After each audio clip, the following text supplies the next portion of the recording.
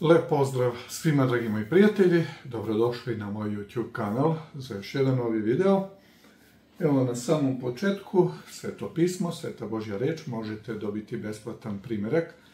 Ako pošaljete vašu adresu i broj telefona na moju e-mail adresu koja glasi docusangelos.yahoo.com, zahvaljujući sponsorima i prijateljima kanala, eto to je moguće. Tako da ako nemate sveto pismo, možete da se javite.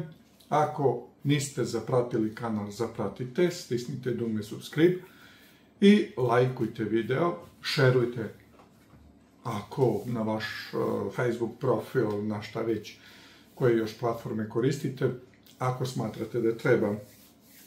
Dakle, vidimo da um, Ukrajina u ovom trenutku, a, neću reći da je na kolenima, ali prilično gubi, ne uspevaju da se izbore sa eh, velikim pritiskom ruske vojske na tom terenu Kurska, na ruskoj teritoriji koju su oni okupirali, trenutno dobijaju debele batine.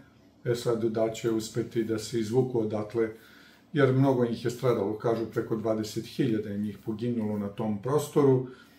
I ono što Zelenski hoće, i taj njegov general, kako se zove, nije ni važno, da zadrže tu liniju fronta, to jest tu okupaciju Rusije do američkih izbora, a Rusi baš hoće da ih umlate dotle da oni ne ostanu tamo, pa je vrlo interesantno šta će od toga biti.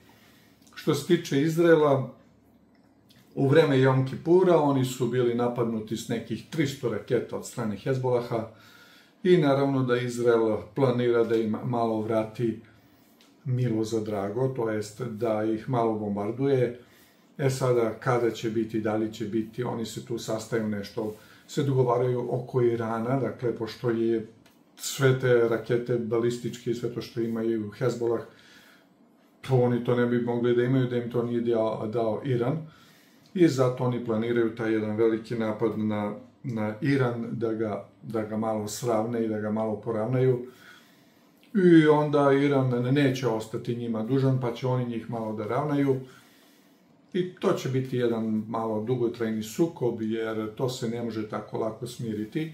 Iran ne odustaje od svojih ciljeva, Hezbollah ne odustaje od svojih ciljeva, a onda ovi palestinci, to je taj njihov Hamas, sileđije, ne odustaje od svog e, cilja, a to je da oslobode Jerusalim od jevreja i da dobiju državu na tom prostoru. I naravno to se neće tako lako desiti.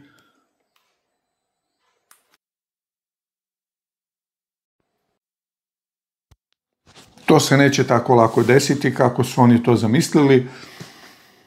Tako da će tu svakako sukob da se nastavi, svejedno ko će pobediti u Americi, što se toga tiče tamo, da li Štrumf veliki ili ova Kamata Haris Džinović ili Kamila Haris Džinović, svejedno ništa tu neće mnogo da se promeni. Isto će biti na Bliskom istoku, što se tiče Ukrajine, tu može biti do nekih promjena, ali Trump je svakako na strani jevreja i tu nema nikakve, nikakve diskusije, dakle, u poređenju s tim okolnim a, muslimanskim narodima, on će uvijek stajati na stranu jevreja i to je vrlo jasno. Tako da će taj sukob tamo da sve više e, raste, da jača i da se, da se komplikuje. E, sada šta će se tu sve ispodešavati, to je vrlo teško, vrlo teško znati i razumeti kako će se ti događaji odigrati do kraja. U svakom slučaju, situacija je tamo krajnje napeta na Bliskom istoku. Također je vrlo napeto na ukrajinsko-ruskom frontu i sada Zapad, Amerika, pogotovo Amerika i Britanija, gledaju kako da uvuku Rusiju u neku vrstu pregovora da bi ih posle namagarčili, jer tako je bilo i ovdje. Kosovo, rezolucija 1244, E, vratit će se vojska na Kosovo, garancije, ovaj, garancije, sve su slagali. Šta god da Amerika obeća, potpiše e, Britanija, to su samo a, obećanje ludom radovanje. Tako kaže narodna poslovica, čiste laži. Dakle, to su lažovčine par excellence, i Amerikanci, i Britanci. I oni mogu da lažu, mogu da ubiju, mogu da je što hoće, a da nemaju nikakve uh, posljedice i da ih niko, ali baš niko ne može pozvati na odgovornost. jer im se može, narodski rečeno. Tako da to oni sada pokušavaju nekako Rusije da namame na nekakve pregovore da bi ih zamajavali kao sa minskim sporazima, eh, sporazumom. Mislim da to neće uspeti, bar ne bi trebalo ako su toliko blesavi da ih poslušaju ok. Ali kako god, znači situacija je tamo krajnje, krajnje napeta i krajnje e, nestabilna što se tiče Ukrajine i same Evrope koja je u velikom problemu zbog e, visoke cene energijanata, zbog te takozvane deindustrializacije, Evropa se de sklanja industriju, i svi ti zakoni i to sve što Evropska unija i Evropska komisija usvaja i parlament su u korištete Evropske unije. Kao tu je ekologija, pa ćemo mi ovo, pa ćemo mi ono, pa neki cirkus i neka ludila, nešto što nema veze s mozgom. I naravno ekonomija Evrope pada, s druge strane ekonomija Kine, ekonomija Rusije, ekonomija Indije je u usponu, i postali su, blago rečeno, velika konkurencija zapadnim silama, Americi i Evropi, posebno Americi, koja od industrije im nije ostalo ništa, čak ni čačkalice ne prave, nego sve što im treba, to se a, a proizvodi u Kini, prodaju u u Americi, onda Kina ima viška para, pa onda opet te pare vrati u Ameriku, zato što ne znaju šta da rade s tolikim viškom novca.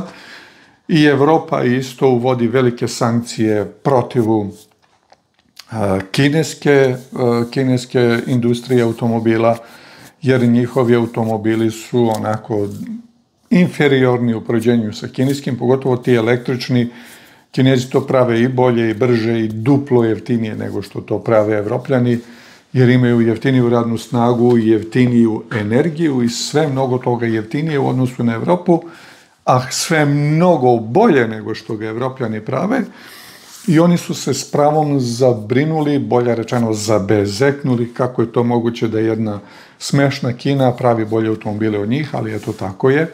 I dok je Evropa i Amerika, dok su oni bili divovi ekonomski u proizvodnji u svemu, oni su se osjećali superiorno i govorili su o toj eh, bescarinskoj barijeri, da slobodan protok robe kapitala, ostalo ono bla bla, znači ta priča VTO, Svetske trgovinske organizacije, ali sada kada su oni postali inferiorni u odnosu na te druge zemlje eh, koje nisu G7, a postale su i po stopi rasta i po svemu brže i bolje od Evrope, same Evrope i same Amerike, onda je Amerika počela dovoditi sankcije uh, to je carinske barijere ili kvote od 100% na kineska vozila, to Evropa isto radi 30%, 40%, pa na ove 15, na ove 30, na ove 20, na ove 50, ne znam već. To su njihove, ta neka njihova ludila. Ne bili sačuvali svoju autoindustriju, jer stubovi Evrope su autoindustrija, BMW, Mercedes, Volkswagen, Opel, Ford, to je ono što se sklepava tamo u Evropi. I oni bi sada to nekako da zadrža, taj monopol, ali da prodaju dalje na kinesko tržište bez tih carinskih ograničenja svoje proizvode, što naravno može da bude problem, pa je Kina sad uvela uh, sankcije, to je carine na ma nekakva pića, nešto što se uzima u manjim količinama, samo simbolično da im pokaže da i oni to mogu. Naravno da kinezi to ne rade jer oni imaju uh, oni rade po sistemu super proizvodnje i ekspanzije koliko god mogu da se da ekspandiraju te svoje proizvode u svim državama sveta i evo kod nas u Srbiji imamo kineske tržne centre, kineske robne kuće i blago rečeno nema šta nema. Sve ima i istina kvalitet nije baš neki zavidni, ali ima, cene su onako džene, džene više, nisu ni one tako jeftine kako su nekada bile, ali u principu je prihvatljivije nego li što je ta zapadna roba koja jeste mnogo, um, da kažem, kvalitetnija, ali je, ali je mnogo i skuplja. Tako da neke zdravlje, sve ostalo što nemamo, će si kupimo kod kinezi, tako kažu ovde na ovom prostoru gde ja živim i zaista je tako ono što nemamo će si kupimo kod kineza, a samo zdravlje da bude i bit će sve u redu. I sve to tako zbirno, a, dovodi svet do jedne vrlo disbalansirane situacije, pogotovo sada od kad se BRICS-u želi priključiti, znači imaju tamo određen broj zemalja koje već jesu unutar BRICS, ali još 30 su podnele zahtev i najmanje još 100 njih žele da se priključe BRICS-u. I taj BRICS također razvio svoj sobstveni SWIFT kod, kao što ima taj SWIFT kod, Eh, gde se trguje u dolarima ili, nemam pojma, vrši se transakcije preko zapadnih banaka. Sada će sve to biti mimoiđeno i ono što će se desiti, a to je da jedna Amerika koja ima eh, 20% ukupan prihod svetskog BDP-a, trgovina u dolarima je bila preko 70% u međunarodnim eh, transakcijama. E sada kada se to svede na nekih, e, pa eto, nekih e, 20 posto trgovine u dolarima, oni će imati velike probleme jer, e, jer će biti u ogromnom deficitu. Evropa je u ogromnom deficitu, njihovi budžeti su u ogromnom deficitu, Amerika će biti u ogromnom deficitu i to će biti jedno, jedno, jedan opšti haos, tako da ta priča, evo sad izvode vojnu vežbu na granici s Rusijom, nuklearni rat, šta bi radili, F-35, ovi aviončići, koji nose nuklearne bojeve glave, gravitacioni, kako oni kažu, to je mora da leti iznad pa da je bupne dole, da ona padne dole nekom na glavu. Uh, sad izvode te vežbe tamo i to se spremaju za rat. Kaže onaj kad mi taj neki izraelski šta li je već, on nemam pojma, da će 2027. biti rat između Rusije i NATO, to je Amerike. I naravno Zapad, pošto je lider, vođa tog e, sistema i kako da kažem, e, glavni mozak cele priče BRICS-a, Rusija, tu se nakačila Kina, Indija, Iran i sad još 30 zemalja, to je 4-5 milijarde ljudi, Zapad ima samo milijardu, ovde je 5, 1 naprama 5, nemaju nikakve šanse. Ono što oni žele da urade i što smatraju da pod obavezno moraju da urade, a to je da razlupaju Rusiju pošto poto, da bi posle razlupali Kinu pošto poto i da bi oni dalje ostali super hegemoni. I e, svakako da se rat, e, ružno je reći, smeši, ali smeši se i Evropi i Americi, jer oni misle da će u tom ratu pobediti i da Rusija neće upotrebiti nuklearno oružje, možda hoće, možda neće, a šta ako hoće, šta će onda da se desi? Onda će se desi nešto što oni nisu planirali i mnogo toga što su planirali sa covidom, sa ovim sankcijama, onim sankcijama, se tačno njima olupalo o glavu i oni računaju da im se i to neće olupati o glavu, a verovatno hoće. Mada, s druge strane, opet, e, već sam u prethodnom videu to nešto malo spomenuo, imamo jako puno tih e, nadprirodnih događaja koji se dešavaju i vrlo je moguće da će uskoro biti inscenirana neka vrsta invazije vanzemaljaca i već imate navode, napise ovakve i onakve da će to možda da se desi. I ako se to bude desilo, a, insceniranje na takav događaj sa vanzemuncima, onda će svakako doći do, do velikih problema u svetu i a, do sjedinjenja sveta da stanu na, na na jednu stranu svi, da se svi ujedine, jer ne postoji način da se ujedine osim na jedan takav takav uh, način da se nešto nadprirodno dešava u svetu, svet koji se natovario zlata kao blata. I evo u knjizi proroka Zaharije u poglavlju 9. imamo vrlo zanimljiv tekst, vrlo, vrlo zanimljiv tekst, kaže breme reči Ahajaha zemlji Adrahu i Damasku gde e, će počinuti jer Ahajah, Ahajaha logor je na ljudima i na svim plemenima Izraelevim. I Emet će zahvatiti i Tir i Sidon ako jesu veoma mudri. I sad pazite ovaj devet, treći stih devete glave proroka Zaharije. Kaže, Tire sagradi sebi grad i sabra srebra kao praha i zlata kao blata po putu. I kada posmatramo bogatstvo Sjedinjenih država, e, to je nešto slično kao tir. Sagradi sebi grad i srebra kao praha zemaljskog i zlata kao blata po putu. Znači, toliko su se navatali novaca, da ga imaju a, previše, jer jedan kvadrilion je ukupni, kako kažu, ukupan iznos eh, tih eh, eh, bankovnih derivata, derivati nisu derivati proizvodi, već je reč o, o, o, o tim kreditima. Dakle, pa ko je imao kvadrilion, a, znači imamo a, milion, pa milijardu, pa hiljadu milijardi, jedan a, bilion, pa hiljadu biliona jedan tri, trilion, pa hiljadu triliona jedan kvadrilion. To je dakle, nešto što nema veze sa zdravim mozgom. I ovdje kaže da je Tir sagradio sebi grad i nakupio srebra kao praha i zlata kao blata po putu i gle, Ahajaga će ga oterati i vratit će u more silu njegovu i on će ognjem izgoreti, Aškalon će vidjeti i uplašit će se i gaza će se vrlo uzmutiti gaza, pojas gaze, evo to i danas tamo Dan, zašto Gaza? Zato što je to prostor gdje su bili Filisteji i Akron što ga osramoti nadanje njegovo i poginuće car u Gazi i Aškalon se neće naseliti. Zato što će Bog suditi svemu tome. E sada, to je zanimljivo, Tir, e, Jezekije 20, 28. poglavlje, imamo jednu priču o caru Tirskom, gde je on izjednačen sa zbačenim svetlonošom sa satanom. I u knjizi proroka Ezekilja 28. poglavlja, taj tir je nakupio srebra kao praha zemaljskog, kao prašine, prašinima kako hoćeš, svuda na sve strane, ali zlata takođe kao blata po putu, zlato ko blato, pošto putevi u ono vreme nisu baš bili asfaltirani, pa je blata bilo koliko god hoćeš i koliko god nećeš. I tu kaže sada u 28. poglavlju e, knjiga proroka, e, knjiga proroka Jezekilja, e,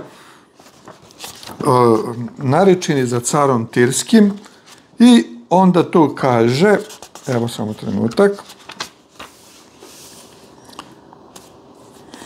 zato ovako govori Ahajah Elohim što se izjedne, što izjednačuje srce svoje sa srcem Božim, Zeto je, evo ja ću dovesti na tebe inostrance najljuće između naroda i oni će istrebiti, istrgnuti mačeve svoje na lepotu, mudrost tvoju i ubiće svetlost tvoju svalit ćete u jamu i umrićeš usred mora smrću pobijenih. E Sada ne čitamo i kaže ovako, opet mi dođe reč Ahajaha, govorići sine čovječine, a reči za carem Tirskim i recimo ovako govori Ahajah, Ahajah, ti si pečat savršenstva, pun si mudrosti i sasvim si lep. Govori se o Tiru i sada car Tirski bio si u Edemu vrtu Božjemu, reč je o satani, pokrivala te svakojako drago kamenje, sar, topaz, dijamant, hristolit, oniks, jaspit, safir, karbonikul, smarlak, zlato, onaj dan kada si se rodio, načinjeni behu bubnji tvoji svirale i razni instrumenti, ti si bio heruvim pomazan da zaklanjaš, ja te postavih, ti beše na svetoj gori Božjoj, hođaše posled kamenja ognjenog, savršen beše na putevima svojim, od dana kad se rodi dokle se ne nađe bezakonje na tebi, od mnoštva trgovine svoje, napunio se iznutra nasilja i tako dalje. Dakle, a, zašto je Tir nakupio sebi zlata kao blata? Tir sagrade sebi grad sa srebre i, i kao praha zemaljskoga i zlata kao blata po putu. Zato što je Soto nastajao iza toga. Zašto je zapadni svet e, toliko bogat danas? Prvo, zato što je e, reformacija i protestantizam doneo blagoslov na taj prostor. Međutim, taj narod se okrenuo od blagoslova od Boga, pa je krenuo za satanom i vi znate da u toj zapadnoj filmskoj industriji, muzičkoj industriji, mnogi od tih, ne mnogi, skoro svi, koji su to uključeni, koji su poznati javno i tako dalje, to je javna tajna, potpisuju pakt sa satanom da bi zaradili što je moguće više novca, da bi bili bogati i onda su se navatali zlata kao blato. I kada gledate te njihove skupocene vile, evo Biden je otišao konačno na Floridu da vidi šta se tamo desilo, i stvarno to, se, to je tamo sve razvaljeno, a, znači jednostavno potpuno znači, razbijanje čitavih čitavih naselja i kvartova, jer to je vrlo gusto nasaljen prostor i vrlo bogat prostor, nekih 50 milijardi je šteta, oni daju Ukrajincima 200 milijardi, za Floridu verovatno neće imati tih 50, i tu će verovatno doći do velikog raseljavanja stanovništva. Zlata kao blata, Amerika, bogata, odneli su zlato iz Irana, iz Iraka zapravo, odneli su zlato i odavde iz Srbije, pa smo ga mi nekako vratili, Nemcima uopšte ne pada im na pamet da, ga, da im ga vrate, jer su im ga Nemci dali na čuvanje i to što si dao, dao si i nema nazad, ne žele da vrate. A, tako da se e, Amerika i te neke druge zemlje, a sada i Kina, navatali prilično bogatstva zlata kao blata. I Bog će suditi svakako svim tim narodima i o tome također govori e, govori Bog, kaže, breme reči Ahajaha za Izraelja, govori Ahajah koji je raz, razapeo nebese i osnovao zemlju i stvorio čoveku duh koji je u njemu. I sada tu imamo proročanstvo za Jerusalim, jedno e, snažno proročanstvo. I onda u 14. glavi se govori o e, danu kada će Bog suditi svetu. Evo ide dan, govori Ahajah, i plen će se tvoj razdaliti usred tebe, jer ću skupiti sve narode na Jerusalim i tako dalje. E, I onda imamo opis drugog Hristovog dolaska, e, jer će se skupiti sve narode na Jerusalim. Zašto Zaharija? Zato što Zaharija opisuje vreme a, nakon Babilonskog robstva i a, povezuje se vreme kada je Jerusalim bio razoren, 70. godine nove ere, sa drugim slavnim velikim Hristovim dolaskom jer ću skupiti sve narode na Jerusalim i boj, u boj i grad će se uzeti i kuće opleniti i žene osramotiti i polovina će grada otići u robstvo, a ostali narod neće, narod neće se istrebiti iz grada jer će Ahajah izaći i vojavaće na narode kao što je voje na dan kada je boj. I noge će njegove stati u taj dan na goru Maslinsku koja je prema Jerusalimu, Maslinska gora, to je ono mesto gde je Hristos bio, gde je Hristos e, voleo volio da bude s učenicima, ono maslinjaku, s istoka i gora će se Maslinska raspasti po sredini, na istok i na zapad, da će biti veliki ponor, prodol, dakle, raspućiće se, vrlo velika, i polovina će gore ustupiti na severa, polovina na jug, i bežat ćete u Prodol Gorsku, jer će Prodol Gorski dopirati do Aškalona i bežat ćete kao što bežaše od zemljotresa u vreme Ozije cara Judinog i doći će Ahajah, Bog moj, i svi će sveti biti s tobom. I u taj dan neće biti videlo svetlo i mračno, nego će biti jedan dan koji je poznat Ahajahu, neće biti dan i noć, jer će uveče biti svetlost i u taj će dan proteći iz Jerusalima voda živa, pola na istočnom moru, pola ka zapadnom moru i bit ćete i bit će i leti i zimi. Dakle, to je opis drugog Hristovog dolaska, neće biti dan i noć i uh, taj dan neće biti videlo svetlo i mračno, neće biti jedan dan koji je poznat Hajahu, neće biti dan i noć. I zašto jedan dan koji je poznat Bogu? Zato što je Evanđelje po Mateju 24. poglavlja a o danu tome i času tome Hristos kaže niko ne zna do Otac nebeski. Dakle, samo Bog zna kada će biti taj dan. U svakom slučaju tog dana, oni koji su nakupili zlata kao blata, oni koji su se obogatili u poslednje dane, kako kaže tamo u Timotijovoj poslenici, u Solunjanima, obogatiše su posljednje poslednje dane i plata zaposlenih viče, jer su zakinuli onima koji su radili njihove vinograde, želi njihove pšenicu, jer su ih zakinuli da bi bili još bogati.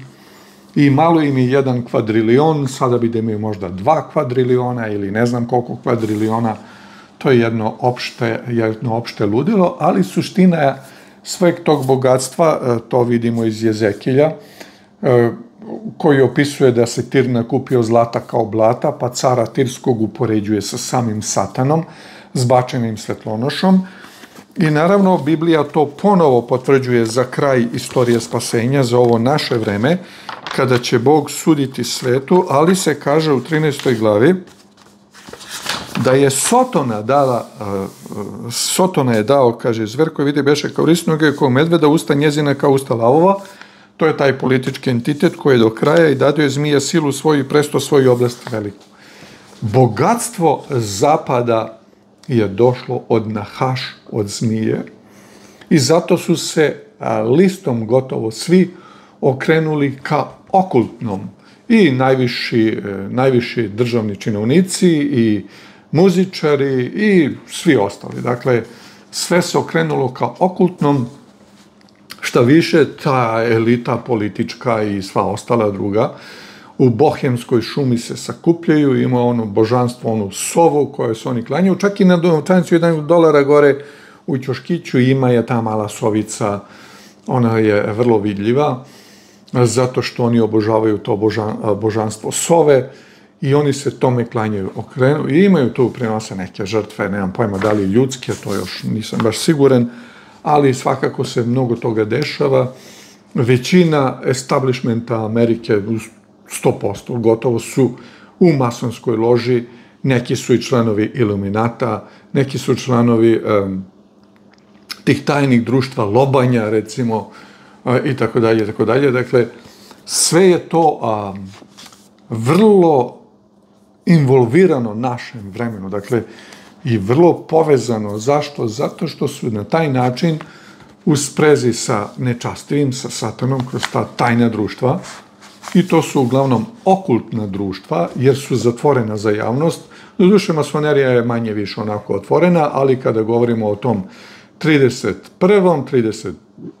33. stepenu, koje je čist satanizam, dakle tu nema ništa dobrog i ništa pozitivnog, a školica i jaslice za to su uh, ovo kako se zovu ovi, uh, ma imaju tu značkicu i oni takođe odatle, uh, kako da kažem, uh, vrbuju svoje članove, one koji su uticajni, rotari klub, pa onda ide masonerija, pa tu su iluminati, pa tu su društvo lobanja, I onda imamo čisto satanističke crkve po Americi, kako god hoćete, i oni imaju gotovo ista prava kao i ostali, to isto važi za Evropu.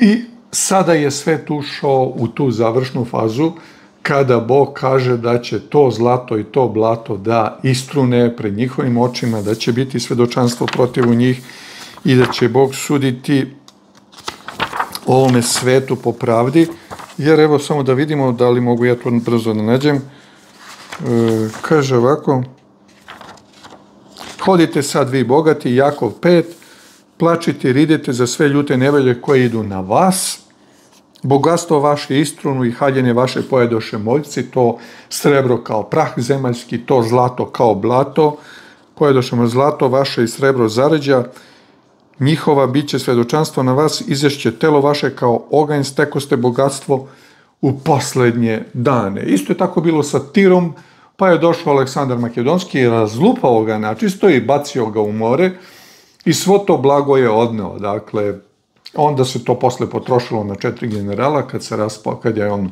se opio od one rakije i otrovao se. Njegova četiri generala su podelila Grčko-Makedonsko carstvo ili Makedonsko-Grčko na četiri dela. Iz toga se pojavilo Rimsko carstvo, i gle, viče plata e, vaših zaposlenih koji su radili vaše njive i vi ste im zakinuli i vika žetelaca dođe do ušiju ahajaha, savaota, se zemlja i naslediste, veseliste se na zemlji i nasledi, nasladiste se, uhraniste srca svoja kao na dan za klanje, osudiste, ubiste pravednika i ne brani vam se. Rade šta hoće, lažu, mažu, muvaju, muljaju i niko im ništa. Osudiste, ubiste pravednike, ne brani vam se. I onda kaže, trpite, dakle, braćo moje, do dolaska Hajaha, gle težak čeka plemeniti rod iz zemlje, iz zemlje i rado trpi dok ne primi dažd rani i poznije. Trpite, dakle, vi i utvrdite srca svoje, jer se dolazak Hajaha približi ko može da stane e, na kraj svemu tom haosu, tom ludilu koje je danas zahvatilo svet i koje svakako ne može ni svetski rad da zaustavi, ništa to ne može da zaustavi. Trpite i vi i utvrdite srca svoje jer se dolazak Boži približi. Dakle, naš Bog dolazi, Hristos dolazi i on je jedini koji može da stane na put svemu tome što se trenutno dešava u svetu jer su ti događaji vrlo, vrlo dramatični. I kada se određene države i narodi nakupe zlata kao blata i Kina ga ima kao blata i Amerika ga ima kao blata i Evropa ga imali u Americi pa im ga ne žele vratiti, Nemci, ne znam, Francuzi su, recimo interesantno je da su Francuzi trgovali u dolarima i Amerika je tvrdila do tamo kada su uveli taj petrodolar, da više ništa nije vezano za zlato, nego za... Dakle, dogovorili su se da to tako vredi i onda su Francuzi napunili jedan pun brod papirića tih američkih dolara i rekli njima, evo vama vaši papirići, pošaljite nam zlato. Oni su se dugo nečkali, na kraju su morali da im pošalju i posle toga iskustva sa Francuzima, oni su uh, uh ukinuli zlatnu podlogu za dolar i uveli su maglu, I to je postao novac bez pokrića, papirići bez pokrića, nego samo na časnu reč da je to tako, petrodolari i onda to je to išlo tako. I sad to je taj petrodolar i to se ugasilo i sad to negde levitira, lebdi u vazduhu, onako uništa, u prazno, ali su se umeđu vremenu nakupili zlata kao blata i zato se tako osjećaju moćnima i Englezi, i Amerikanci, pa i Francuzi, i Nemci, mada ga oni drže svoje zlato u Americi, koje ne mogu da dobiju nazad. Kinezi su najveći kupci zlata, Rusi imaju ogromne rudne, e, rude zlata i vade i e, e, prodaju, a također imaju ogromne zalihe za sebe. I zaista je, i mi smo dali naš rudnik zlata kinezima, pa sad oni e, lepo zarađuju, a mi lepo gledamo kako oni dobro zarađuju. Ali šta nam vredi dok smo ga imali, mi smo pravili gubitke na vađenju zlata ovde u Srbiji.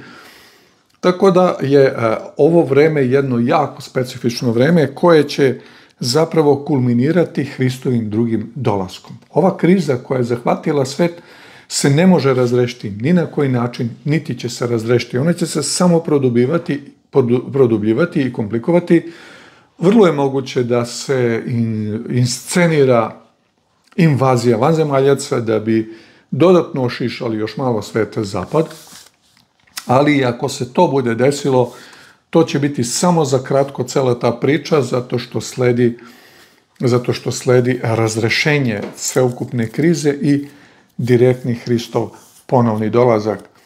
Zato bi trebalo da se, kako ovde kaže, trpite, dakle, i vi utvrdite srca svoje, jer je dolazak Ahajaha se približuje, ne uzdišite jedan na drugoga, braćo, da ne budete osuđeni, gle, sudija stoji pred vratima, Bog je pred vratima. Mi ne treba da sudimo svetu. To sve šta ko radi, on će za to i da snosi posljedice niti jedan protiv drugoga, nego da se držimo Hrista, njegovog carstva i njegovog puta i on će nas blagosloviti da kroz sve ovo prođemo i da izađemo kao pobednici na kraju krajeva. I neka bi nas Bog blagoslovio da dok sva ova kriza traje, da se čvrsto uhvatimo za Božje obećanja, za, za njegovu reč, za njegovu istinu, da budemo sakriveni u Hristu, da budemo u zavetu sa Bogom, obučeni u haljine Hristove pravde, verom u njega, u njegovu žrtvu, u njegovu prolivnu krv i na taj način mi ćemo izaći iz ovoga sveta i nećemo učestvovati u svemu ome e, bezakonju koje se dešava u svetu, da se ne pomešamo u grehe e, Babilona, e, bludnice Babilona i da nam ne naude zla njezina. Veliki sili naš Bože, hvala neka ti je sila moći čast na ljubavi i milosti.